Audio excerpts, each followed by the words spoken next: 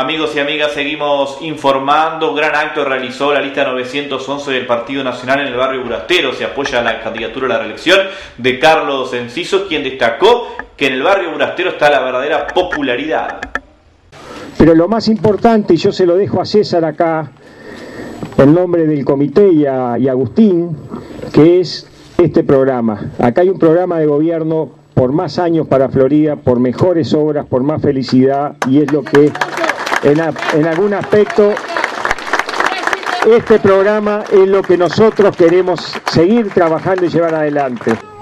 Digo que en algún aspecto hay un programa, hay un balance de lo hecho, pero lo más importante es en algún aspecto también la tranquilidad. Primero que lo que se promete se cumple. Lo poco que no pudimos cumplir, habrán habido algunas condicionantes para no poder en cuatro años y medio o en cinco años llegar con, obviamente, la mejor cantidad de obras, pero ya sabemos por dónde va la cosa. Pero creo yo que la tranquilidad que ustedes pueden ir por los barrios y por todo Florida es decir, miren, esta gente está con ganas de seguir trabajando. Esta gente no se va a olvidar de volver al pago chico o al barrio pequeño.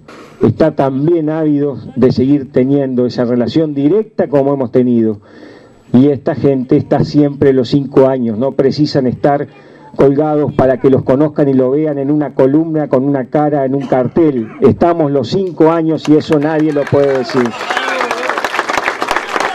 Y eso creo que la mayor tranquilidad El ex intendente y candidato a la intendencia Juan Francisco Giacheto por el Frente Amplio estuvo en cita previa y dijo que la intendencia de Florida en las últimas horas solicitó adelanto de partidas en el Congreso de Intendentes. ¿Existe, tal como usted lo dice, desconocimientos actuales de, de las finanzas de la Intendencia? De mi parte, he procurado informarme.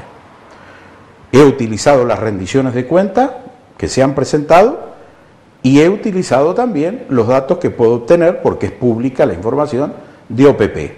En torno a las partidas transferidas al gobierno departamental, las conozco al dedillo. Hay una situación con los acreedores que me genera un gran signo de interrogación.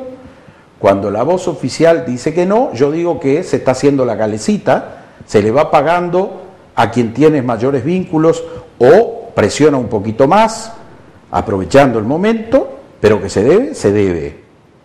Y que también se ha ido a golpear fuerte el escritorio del Congreso de Intendente para reclamar un adelanto de partida es real. Esto sucedió en las últimas horas. ¿Ahora? Sí, en las últimas horas. No se olvide que viene el medio aguinaldo en junio. Fuentes confiables, como se dice, vio que todo el mundo apela al señor Fuentes. Fuentes confiables nos han dicho de que hay un reclamo de adelanto de partidas que en otras oportunidades se ha hecho. Bueno, ahora se está pidiendo fervorosamente que se produzcan. ¿En el Y- Congreso es eso? Claro, y usted sabe que en el Congreso, si lo resuelven los intendentes, a mí me tocó presidir ese organismo, hay un peso importante hacia el gobierno nacional. La doctora Macarena Rubio, intendente departamental de Florida, desmintió estos dichos de Giacheto. Dijo que fue Río Negro la intendencia que realizó el pedido y que hubo respaldo, sí, el resto de las intendencias. Además, Macarena Rubio dijo que hay partidas atrasadas por parte del gobierno central. si a esa noticia que nosotros estamos viendo desde la Dirección de Hacienda le sumamos que no, según el Ministerio no tiene datos, cuando los datos están, porque se sabe todo lo que ha ejecutado cada intendencia en el 2014, se sabe cuál fue la variación de IPC, el porcentaje podríamos estar, nosotros tenemos los datos, estamos en condiciones ya de recalcular cuándo se tiene que pagar a cada intendencia. Y ese anuncio que después de junio, julio recién se estaría pagando, que nos quedemos tranquilos que de repente hay una ayudita, dicen, este, para el mes de junio, este, nos preocupó porque no es la conducta que ha asumido durante el quinqueño el, Ministerio de Economía. Entonces simplemente reforzamos la preocupación de un- que es de todos, no escapa ninguna intendencia. No es que se haga porque existen problemas económicos en Florida, como se quiere instalar debido a la campaña política que estamos. No, no, eso es eh, reforzando un planteo que eh, fue el contador, director de Hacienda de Río Negro, que tenía los datos este, precisos y que nosotros venimos insistiendo porque estamos viendo un retrasito en partidas que tenemos certificadas, pagos intervenidos y que el pago no se está, no se está haciendo. Entonces, este, bueno, uno va juntando un elemento de un lado, un elemento del otro y, el temor de que tanta austeridad que se pretende nos vuelva a hacer vivir un escenario que ya tuvimos el año pasado con el retraso de algunas partidas. Esperemos que eso no suceda, que sean desajustes. El presidente del Congreso, Barrios, este, dijo sí, esta es preocupación de todos los intendentes y la mesa iba a hacer una gestión en ese sentido, de partidas que son reajustes del año anterior. Seguimos dentro del ámbito político. Apedrearon el comité de Guillermo Dati. Sí, este, pero el comité que más allá de ser el comité central que tenemos hoy, las 711, es la, la, la última morada de nuestro mayor militante, que fue don Julio Fernández. Eso es lo que más nos molesta, lo que más nos irrita, porque realmente este, es un hecho aberrante, porque no nos manejamos de esa manera, nos manejamos con denuncias concretas y con cosas serias, y proponiendo cosas realmente realizables, y no con estas casas, clase de cosas que no van con nosotros.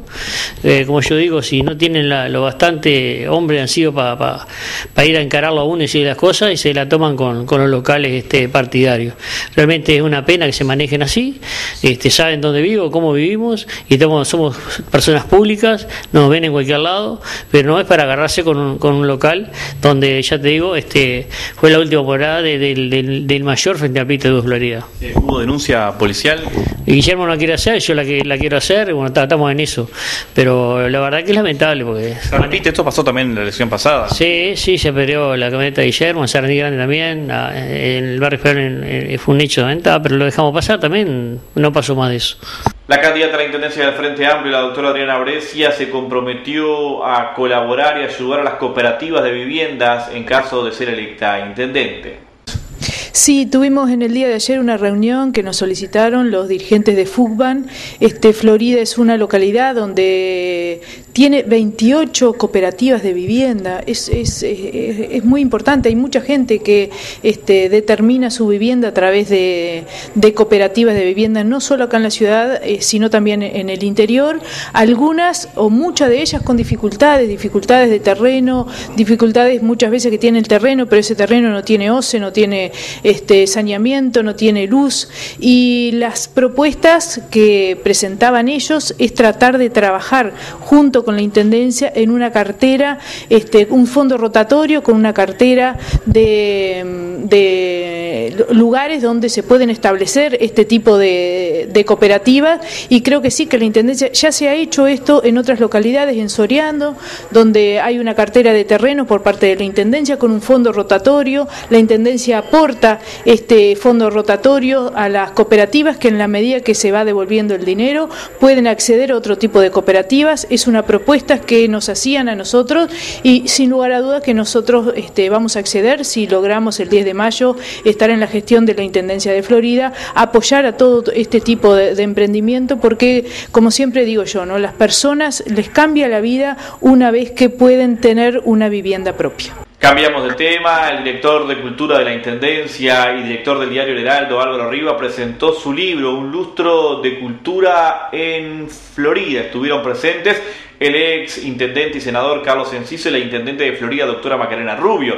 La presentación se realizó en el local de Caipa. Riva cuestionó a la pasada administración departamental por lo hecho en materia cultural. Eh, ha sido el pájaro, ha sido un engranaje que ha estado funcionando las 24 horas del día y parte de la noche, extra full time, es decir, que está siempre girando y que está siempre generando esa energía y ese gusto por, por, por empujar, etcétera. Lo que hay que hacer es, y creo que de a poco hemos ido entendiendo, poniendo nuestro engranaje encima de ese para ver cómo una cosa se agita con la otra y los engranajes empiezan a mover en el mismo sentido de la apertura y del diálogo, ese al que nos empujó y que nos enseñó a hacer, nos dijo, salgan de la oficina, actúen, interactúen, así fue que empezamos a dialogar con la comunidad.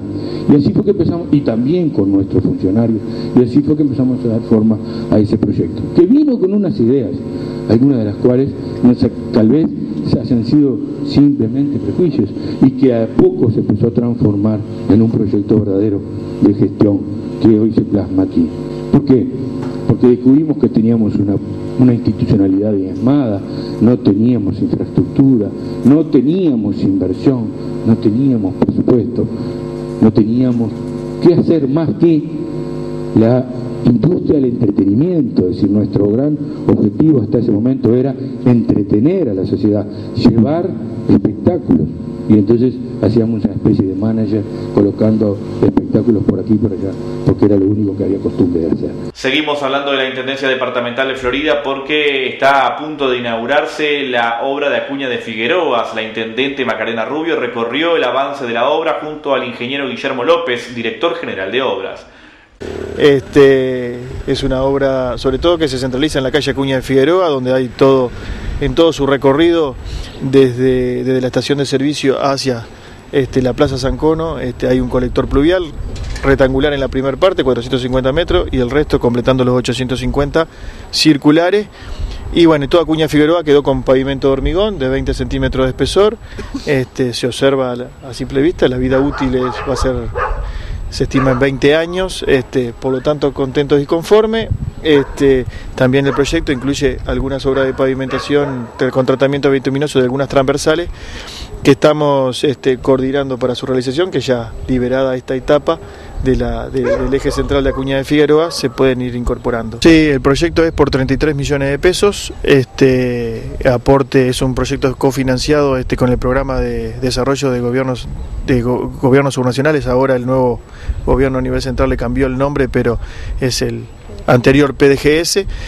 Este, y bueno, este, cofinanciado este, con aporte propio y aporte de, la intendencia, este, aporte propio de la intendencia y a partir de este programa eh, con fondo préstamos BID. Así que este, también este, en contacto directo con la con, los, este, los profesionales y técnicos de, de, OPP que han seguido la obra de cerca y bueno, las garantías del caso está dado por, por el propio director de la obra, que es el ingeniero del SATI en este caso, y bueno, este, el sobrestante también, este, el funcionario Julio Aguilar, y bueno, y todos la, los profesionales de, de la empresa y de OPP. Nueva pausa, enseguida volvemos con más información.